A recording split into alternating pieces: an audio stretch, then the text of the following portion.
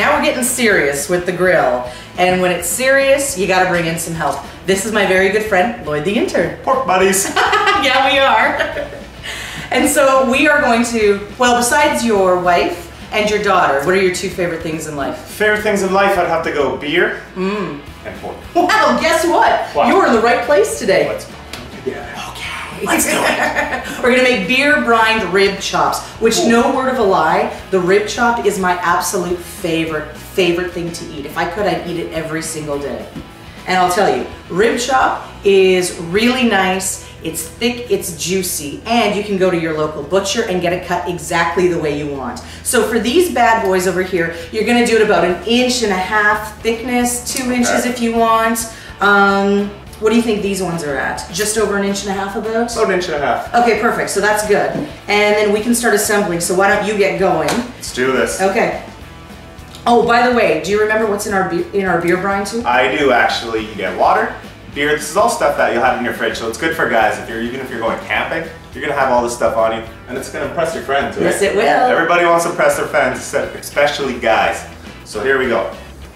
Like I said, water, beer. You get pancake or maple syrup, whatever you got handy. Garlic, brown sugar, coarse salt, and black pepper. That easy. Simple. And so tell us about that one night with beer. That story that you were telling us. well, that's probably not good for, okay, for not, this segment. not not good for the pork. Okay, gotcha. But it all started with a recipe like this. and it got a little different. So let me just pour this in here. I gotta pour like this. I do what's called the whirlwind. And you go around. Spreads it all around. oh, you get all that good stuff on there. So now, what you wanna do is you wanna get all the air out. So we'll just push it down. You don't want any excess air and you wanna seal this nice and tight. Keep all those juices in there. And you don't want any of that beer escaping, if you know what I mean. and then we want to put it in here. You want to put it in something flat.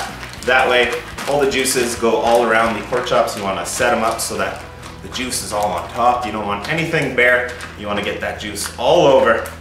The more beer, the better on your meat. Something I live by. And there you go.